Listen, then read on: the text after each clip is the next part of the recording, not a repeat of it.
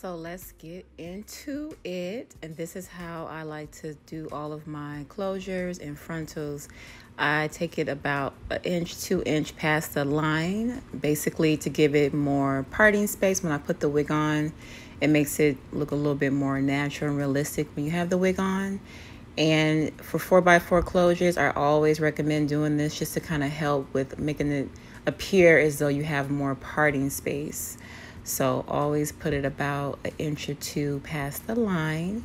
And we want to make sure that everything is lined up and straight and even on both sides. So you can go ahead and stitch your closure down. And I like to use a curved needle. And um, I start about an inch from the very end because a lot of the times my knots are pretty big so I kind of just start about an inch up and then I work my way down and then I go back up. Everyone has their own method. That's just my method. Um, you know, this is kind of what I like to do. I normally like to use a mesh dome cap, but I didn't have one at the house for for me. I had it for someone else, but not for myself. So it's all good. I'll just use a dome cap. Um, you know, so that's what I'm doing. And I'm sewing up one side and then I'm going to stop and then go to the other side.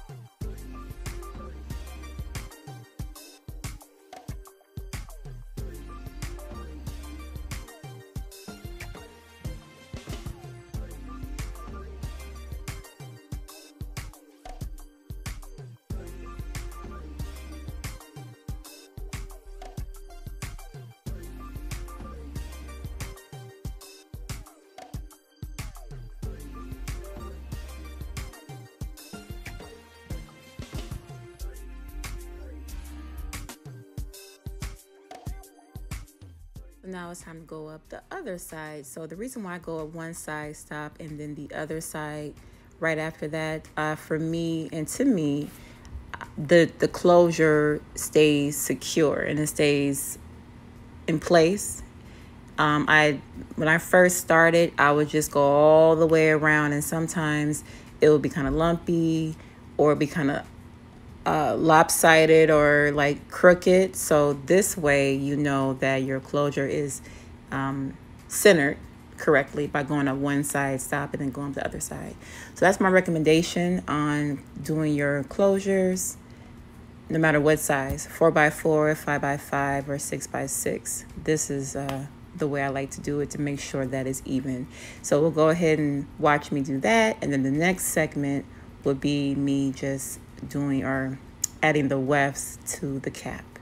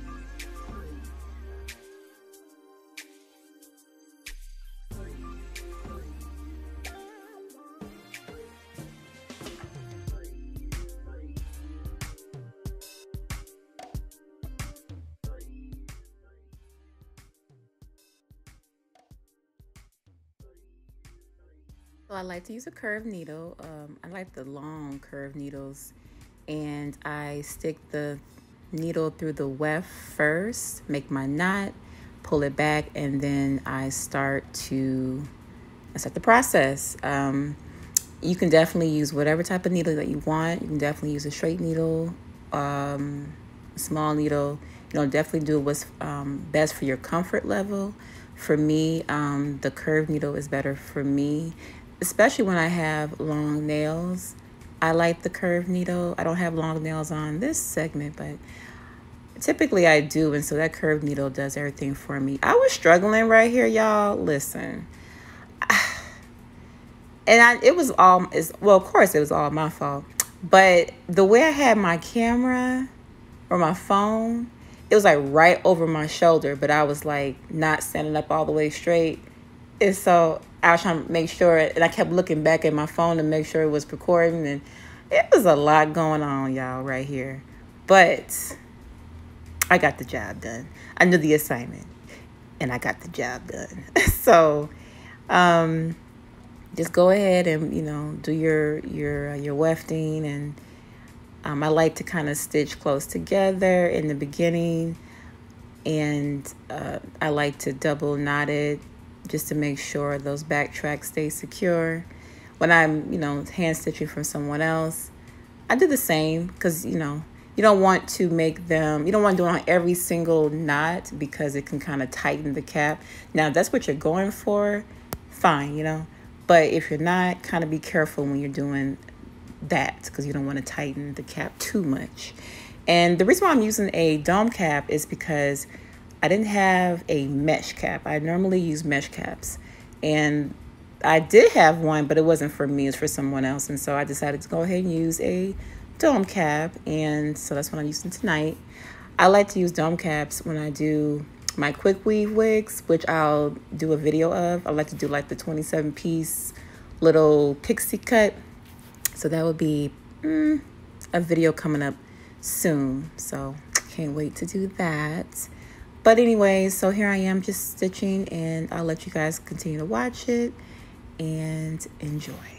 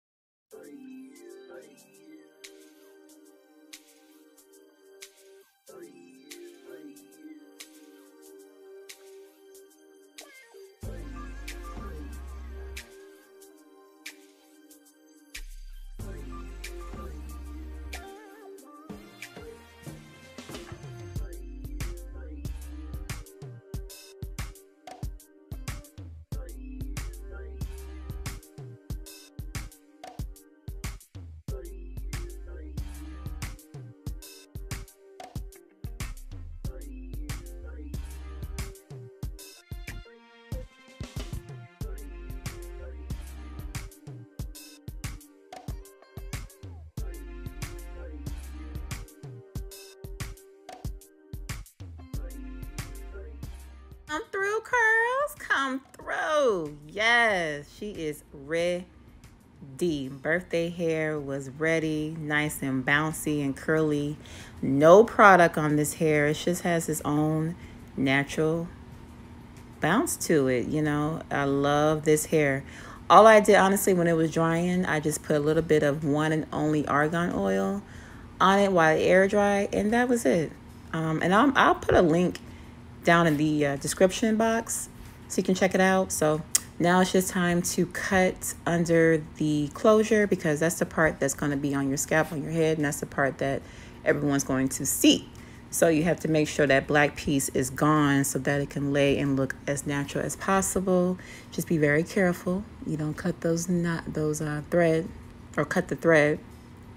When I made my very first wig, I did. I ain't gonna lie, I almost cried. I was so frustrated. I was so tired too. It was about five years ago. But uh, but anyway, just be careful. And um, I did after this part, I didn't show it, but I did add two combs and an elastic band in the wig um, to make sure I had a very, very secure fit. I don't believe in losing my wig. I don't understand it. I don't know how y'all doing it. Maybe it's for the gram, but I don't play like that. Yeah, and that was my 36th birthday. It came out really nice, y'all. So um, I'll make sure to link in where I got my accessories, which is from my accessory store as well as my hair store. So Thank you guys for tuning in. I'll see you in the next one. God bless. Love y'all. Peace.